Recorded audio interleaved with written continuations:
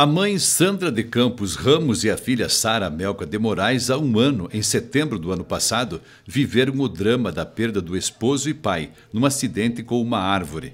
O luto ainda não passou. Para te falar a verdade, nós estamos ainda vivendo um tempo que não passou. Desde o início houve conversa franca entre médicos e família.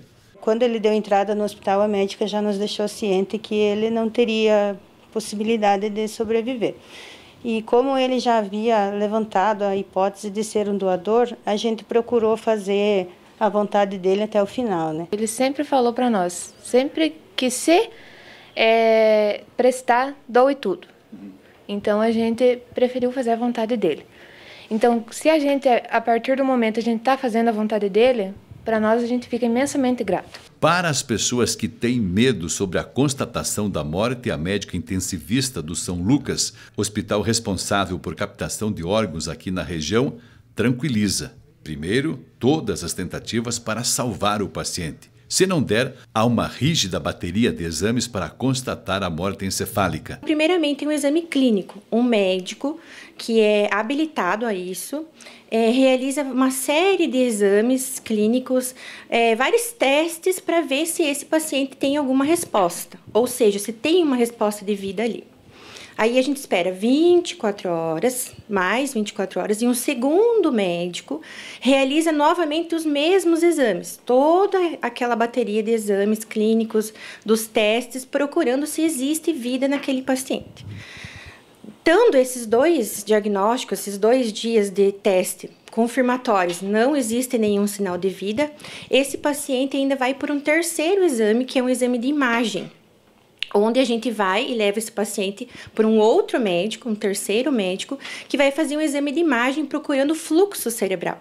Ou seja, existe atividade cerebral pela imagem, existe sangue passando naquele, naquele crânio ainda, existe atividade elétrica ainda.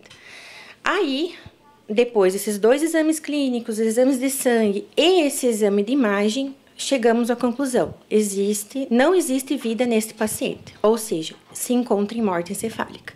A conversa com a família é uma das premissas para a doação dos órgãos. Quando a gente já tem essa certeza que esse paciente não existe nenhuma possibilidade dele voltar, não, ele está em óbito mesmo. Aí a gente conversa com a família no sentido que este paciente que está em morte encefálica é apto à doação.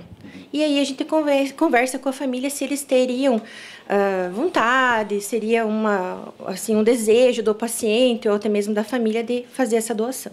A família tem que autorizar, não basta a vontade escrita do doador. Não existe nada assim que a gente possa dizer, deixar por escrito um documento que vale na hora do óbito. O que vale é a vontade da família. Por isso a gente é, gostaria de deixar bem claro que as pessoas, as famílias devem conversar com, sobre isso, né? Nos almoços de família, enfim, deve ser um assunto. Um doador pode salvar e seguir vivo em muitas pessoas. Se todos os órgãos estiverem aptos, até nove pessoas podem serem receber esses órgãos desse paciente que foi doador. Fica o exemplo: a mãe e a filha não conseguiram aliviar por completo a dor da perda do esposo e pai, mas há conforto espiritual e emocional indescritível. É importante, né, que a gente se coloque no lugar de quem está precisando. Tipo, a gente entendeu que ele não tinha mais possibilidade de viver, mas tinha outras pessoas que poderiam viver através dele, né? Ele até ali chegou. Até ali bastou, a vida dele parou ali. Mas as outras pessoas podem ter a possibilidade de viver ainda mais, com os órgãos dele.